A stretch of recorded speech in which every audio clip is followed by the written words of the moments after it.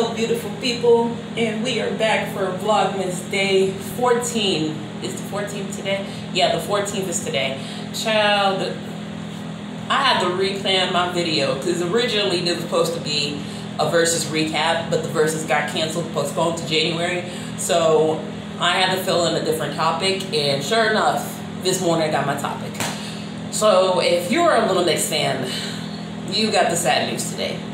Jesy Nelson had decided to leave the group after nine years. She said that after taking a break for her mental health, she realized she had to do what's best for her and what's healthy, and that the purchase of being in a girl group was really taking a toll on her, and she has to make the right decision. The girls completely understand. They made a joint announcement on Instagram and Twitter. Um, did her announcement first, and then the group did their announcement with photos of them.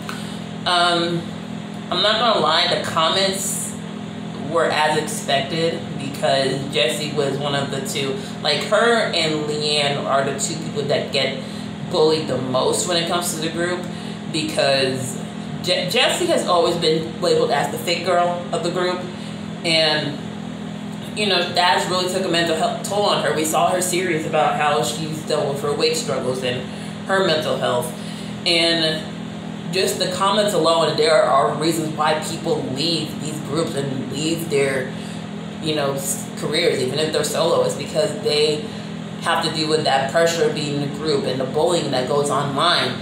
It sucks and it's not okay. And you won't want to stay somewhere where you're being treated like that. And I totally understand that. Heck, you guys that are in the Julie and the Phantoms fandom, y'all driving that cat crazy to the point where they probably don't want to come back for a season two. So I commend Jesy for doing what is best for her. There is the conversation of can Little Mix keep going after this? Now there's currently three of them. You know, we see them, you know, work as a trio when Jesy was on break.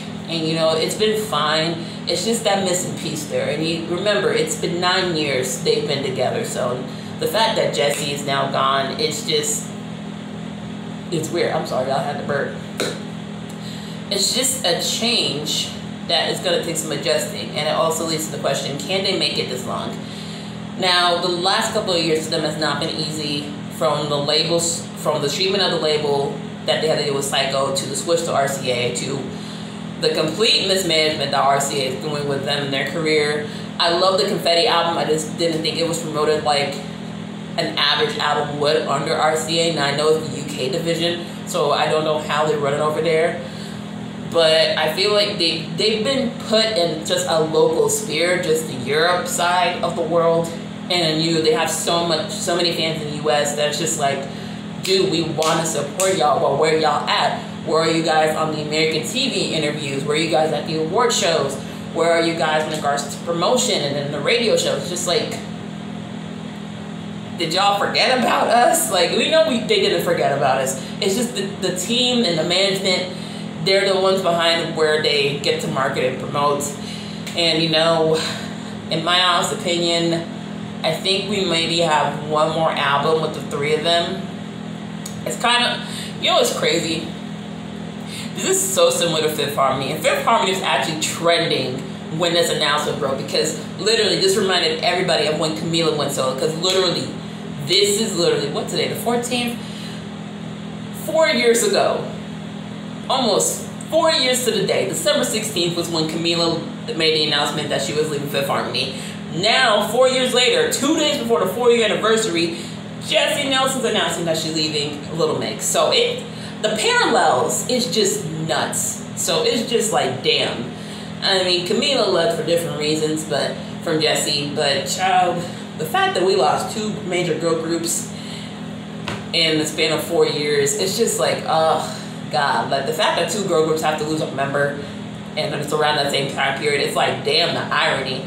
Because they used to be pitted against each other all the time because they're on the same label.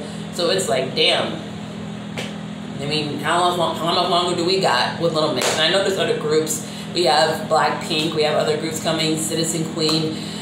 You know, sooner or later they're gonna pop up with another group that they want to market. It's just like, damn. Little Mix is one of the last like gr- girl groups of my generation, like who I grew up with. So I'm like, damn, this is really, this really just sucks. I'm just sad, but I'm happy Jesy is doing what she wants to do. It just is the end of an era when you think about it. But um, yeah, let me know in the comments how you guys feel about it. I know it's it's ratchet right now that I'm shooting in my bathroom, but I'm adjusting to so many different things. Christmas season is just a lot. I've been working for days and I just got my schedule. I'm working the week of Christmas. The only days I'm not working is Christmas Eve and Christmas Day. The rest of that week I'm working. So oh, I'm hopefully I can pre-record my videos so I can upload them while I'm at work. So let's let's just just pray for me. I promise you guys I'm gonna deliver this year. Anyways, your girl peace out. My love. Have a great night. Bye.